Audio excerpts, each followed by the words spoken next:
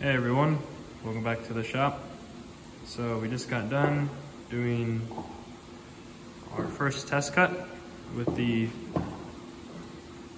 Professional Instruments air spindle and some PCD inserts. And I'm kind of spoiling it here, but here it is. Um, it's actually way better than I was expecting, um, but before we get too deep into that, let me sort of show you the setup we got here. So obviously the lathe is not built.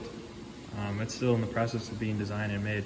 We wanted to do some testing to get some baselines with um, supplies we have so far. So we made some carbide test samples where we took some cuts with some uh, very sharp carbide inserts, but this is the first time we used PCD. Um, and the way we made these, these samples is Here's the spindle, which you guys have seen before. Um, we took it and set it up on the servo-driven axis that some of you may have seen before. Um, it's on the Clausing CNC mill that we have, Fritz von Juan. And really we're just using this as a kinematic frame um, to hold all this stuff. Uh, really nothing more than that. The other thing we're using it for is to do the down feeding in Z because we have tenth increments on this machine. So that's what we use to dial in the depth of cut with this. But the spindle goes on here, mounted vertically, held down with a couple clamps on either side. It really doesn't need much of any clamping force um, because everything is so low force. Just something to hold it in place and stop it from moving around. It's the same servo-driven axis as you guys have seen before. Um, and what I've done is I've got it hooked up to an Arduino here. This is a very janky temporary setup. But I made a little program um, just to generate some pulses to drive the, uh, drive the servo.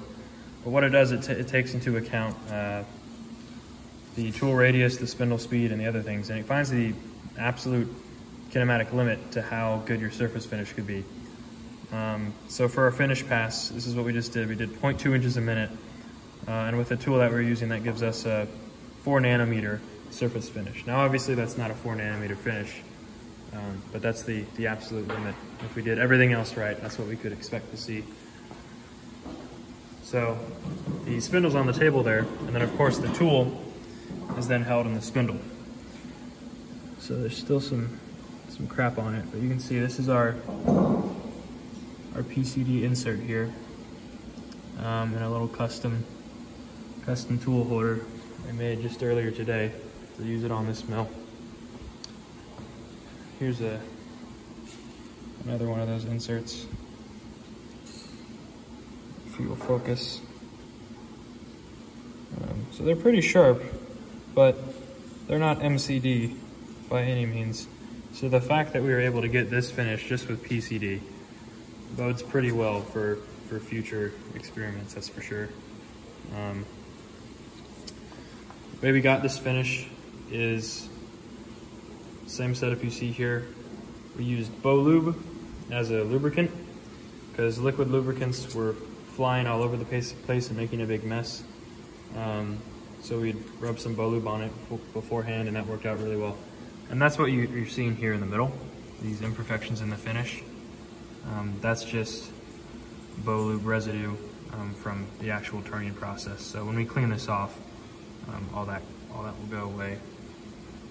Um, so at a, at a, glance, this does look pretty good, but upon closer inspection, there is a lot of bad stuff going on here.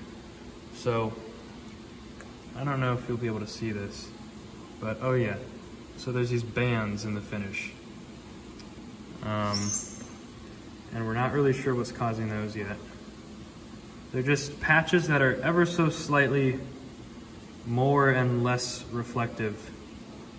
And it's, it's barely perceivable, but there are bands there. And it's only on the outside, about this, about this much. It's not so, not so much on the inside there. So that's, a, that's very curious. Um, not really sure what that's about. And there is some just general diffraction going on here, you can see. And that's because yeah, this is a, a, PCD tool. There are grains to it, it's not perfectly sharp, and that's what's causing the diffraction there. Is this is really not uh, an optical finish. Um, if you want to use the the technical definition of an optical finish, which is less than 10 nanometers. Um, so that's the setup there. It's really simple. We just touched off, um, incrementing in, in tenths uh, until we hit. And then I just have three buttons over here.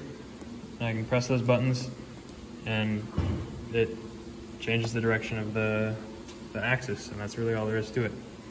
So super pleased with that. Uh, yeah, that's pretty much it. Just thought I'd give an update after this really awesome result. Um, thanks for watching.